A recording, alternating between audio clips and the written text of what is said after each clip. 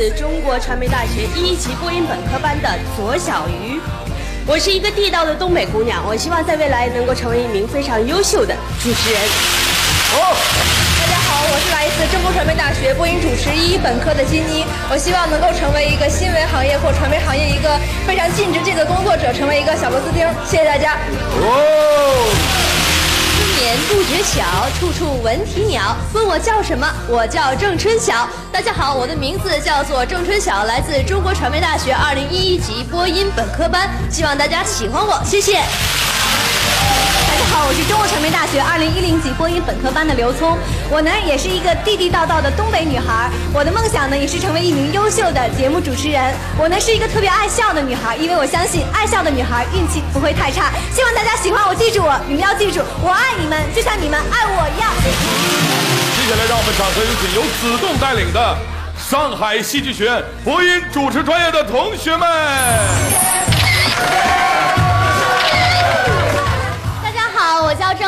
来自上海戏剧学院一一级主持班。嗯，所有熟悉的我的人都知道我是一个爱笑的女孩，所以今天来到家家都有戏，我希望把自己的欢笑传递给现场的每一个观众。谢谢你们。大家好，我叫何冰，来自江苏苏州，就读于上海戏剧学院播音主持班，今年大二。也许在座的各位已经对我有了第一眼印象，那么请听我说完下面的话。一口气把两个拉杆箱拎上五楼的是我，经常帮室友抓蜘蛛和蜈蚣的是我，用榨汁桶喝水的也是我。所以用女汉子来定义我是不准确的，而是我定义了女汉子。好，现场以及电视机前的观众朋友们，您正在收看到的是辽宁卫视为您打造的大型全民娱乐脱口秀节目《家家都有戏》。大家好，我是大兵啊。呃，大家好，我是子栋。大家好，我是修睿。哎，同时也欢迎我们中国传媒大学还有我们上海戏剧学院播音主持专业的学生啊。今天站在舞台上，应该说是靓女还有靓女啊，没有俊男。如果说原来的时候我们三个人站在舞台上还好，咱今天来了这么多天之骄子，但我心里边我感觉也挺好啊，是不是你也快乐无形之中呢，可能就是分成了两个方队了，一个是传媒大学的，一个是上戏的。今天我们就来聊一聊有关艺考的话题。当年你们是怎么参加艺考的？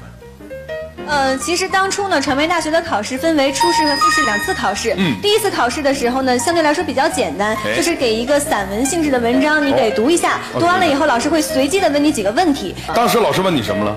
当时老师问我的是，你对幼儿主持有没有什么样的兴趣？如果让你主持一个少儿节目的话，你会选择怎样的一个开场你？知道他为什么问你这个问题吗？我觉得可能因为我这个人长得像妈。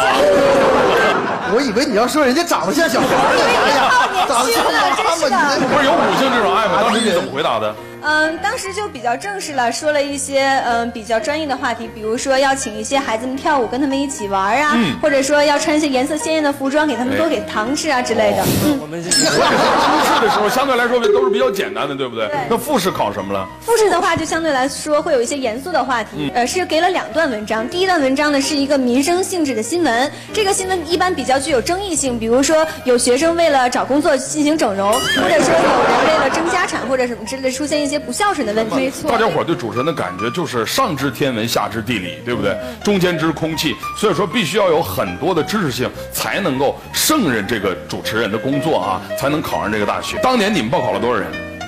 八千七百多，我们这届的比例是八十七比一。这届是对七十比七十七比一。然后你们都是我们辽宁人，对不对？对对。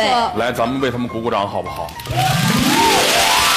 说完了之后，我们来说一说远道而来上戏的同学们啊。呃，我们上戏的主持呢，可能跟别的学校有点不一样，嗯就是我们初试的时候，老师是不让你自我介绍的，哦他直接上来就是报考号、报姓名，然后开始你的自备稿件。我知道，好像中戏、呃那个中传还有上戏，他们这个两所高校虽然都是播音主持专业，但是他们侧重点是不一样的，对吗？咱们中传的侧重点是什么？我们觉得还是新闻方面吧，相对来说比较严肃一些。那你们呢？你们是我们比较重视的就是